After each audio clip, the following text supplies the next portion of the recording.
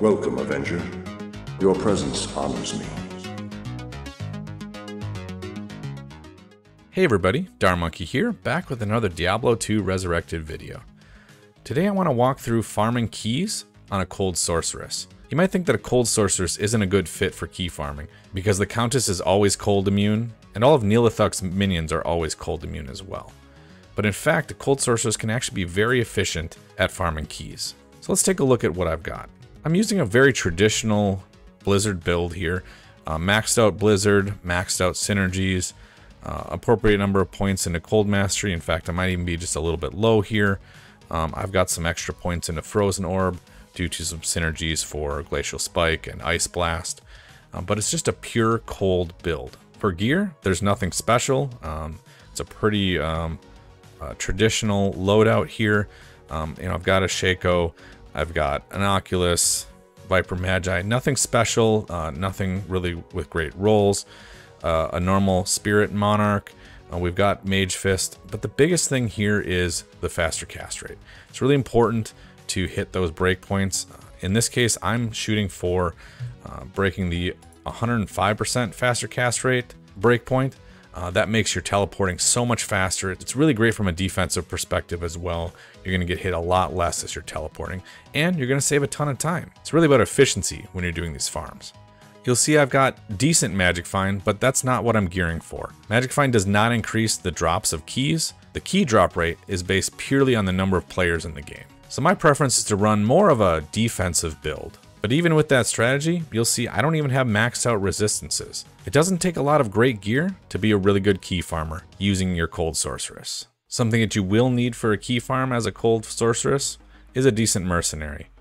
Now for my Merc, um, I'm just using a traditional uh, Nightmare Act 2 mercenary.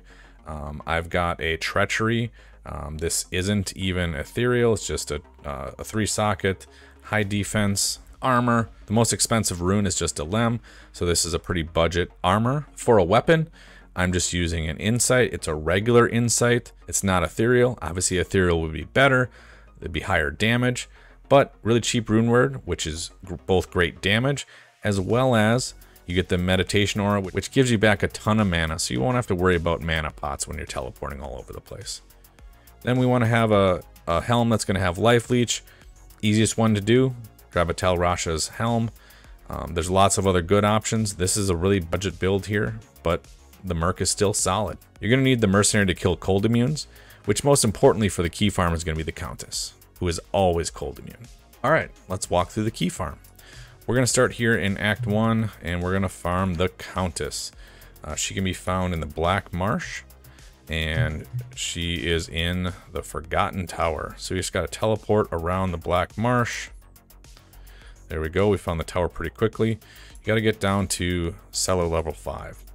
Now the big trick here with the, the, the tower is that you're always going to want to turn left. So when you enter each level, you kind of turn shield side is a way that people like to refer to that.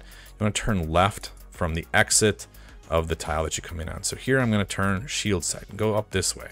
And you just teleport around until you find the next level. In this case, gotten really lucky so far with this map. Um, it's going really quick.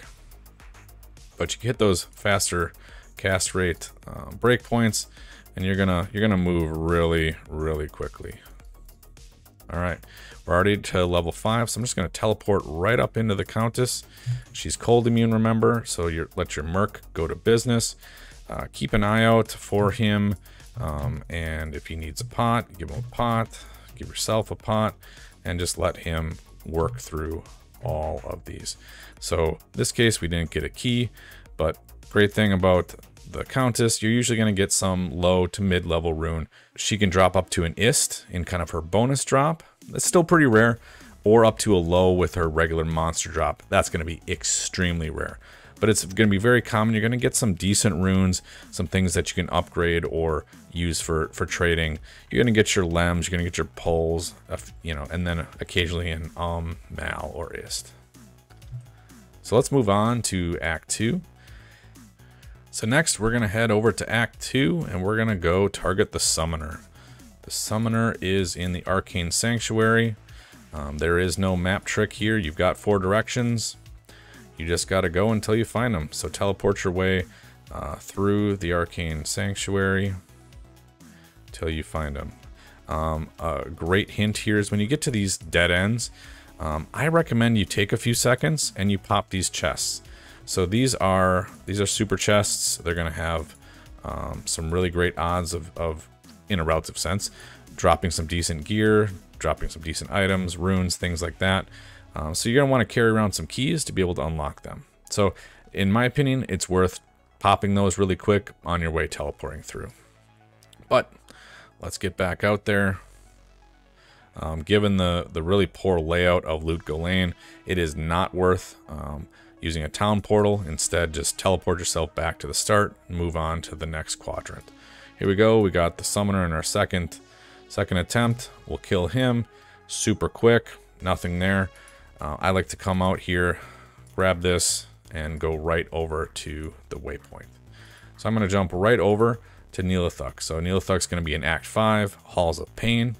Now, with Diablo 2 Resurrected, you can get that uh, waypoint safely without losing out on your portal to Pindleskin. So when you get to the Halls of Pain, there's only three map layouts, and they are fixed.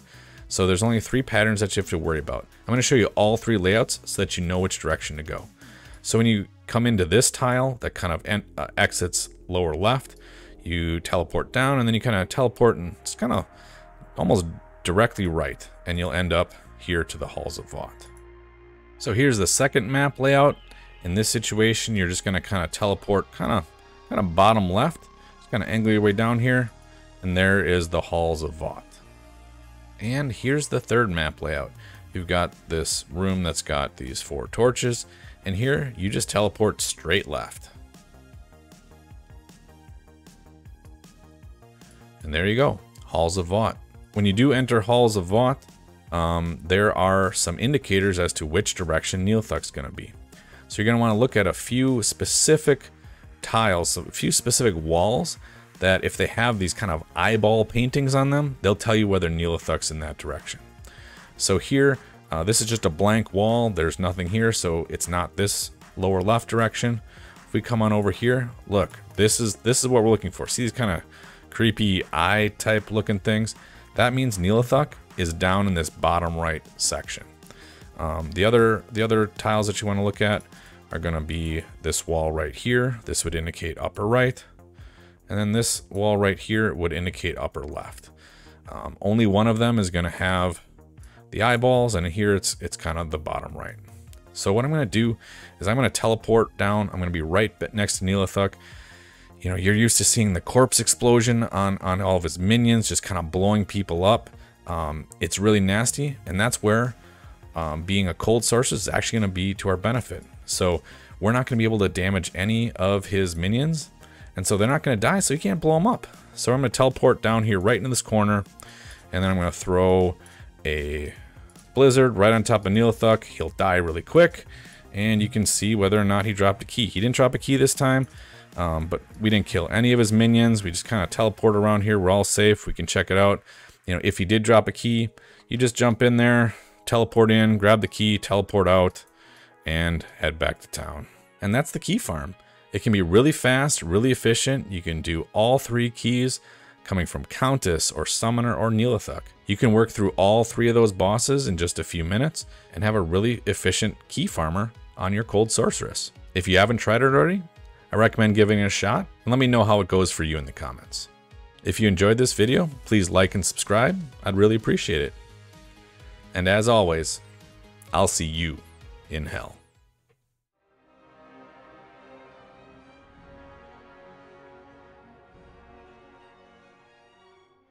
Farewell,